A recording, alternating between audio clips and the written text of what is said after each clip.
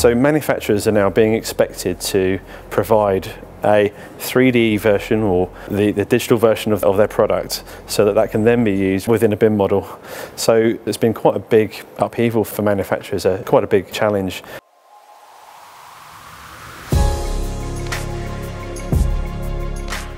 A BIM object is, is a digital representation of a construction product. So that may be just purely product data. So that's everything that a designer would need in terms of uh, looking at the specification. Um, it's also the information that an asset manager would need to be able to maintain that product. The, the reason that BIM objects are, are, being used is because BIM is all about object-based modelling. So a, a, designer or a contractor will be taking uh, objects. They may be using generic objects, which can be found often in you know, the BIM, BIM software, or they may want to use a manufacturer-specific BIM object, which is a true likeness of their actual product. And that, that will provide them with the data they need to understand how that product performs and how it may be maintained. They may also provide a 3D version of that object so it can be inserted and used for you know, clash detection uh, with it within the model.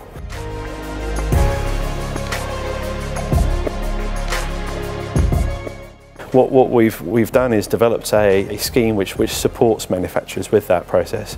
And what we do is with the uh, BIM object Kitemark, we come into the manufacturer and we look at their processes and, and have their embedded BIM within their manufacturing processes. So I was talking about the product data.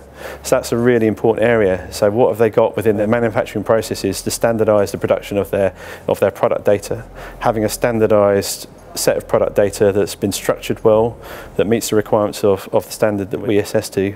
Uh, and we also look how their how their their products are then created into a 3D version. So whether so if they're producing 3D versions of their, their BIM objects, how they're transferring that information to, to whoever's authoring it, whether it's them that's authoring it or whether a third party. And then what process they've got for maintaining it and checking that information and then working with the users of those those objects to support them and which can give the the, the manufacturers a, a benefit of having that customer service.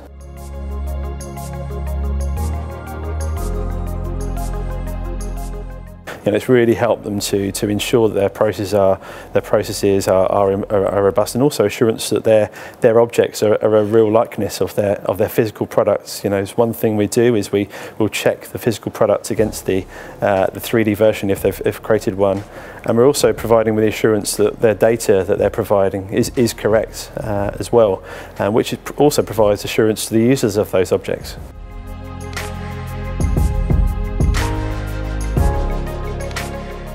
You could find that if you've based your BIM model on objects which are not accurate, you may find problems on, on site, whether it doesn't comply with the um, specification or, or finding actually that, that you have, you've got a clash that you, you didn't expect because there's some inaccuracies in, in, in the modelling. It's going to require more redesign on site. There could be quite a bit of waste involved, uh, added time to the, to the project.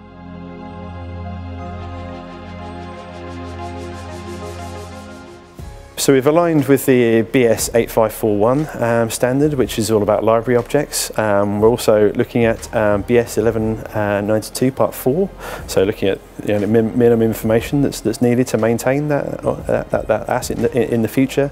But we've also, through our, our work with, with um, stakeholders, we've also identified additional areas that we've included um, on, on, on top of that to make sure you've got a, a, a really good um, BIM, BIM content that's being produced.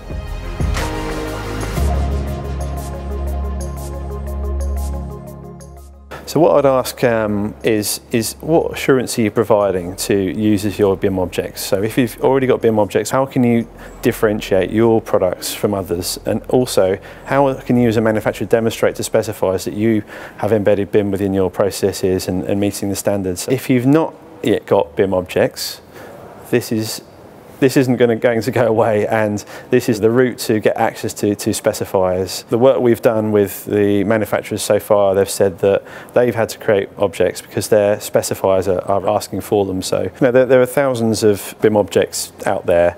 Um, knowing which ones you can rely on Now, having the Kitemark allows specifiers to have that because they can see that that uh, manufacturer's processes and that those objects have been reviewed to ensure that the, the data is, is correct and also the model represents the, their, their product um, accurately.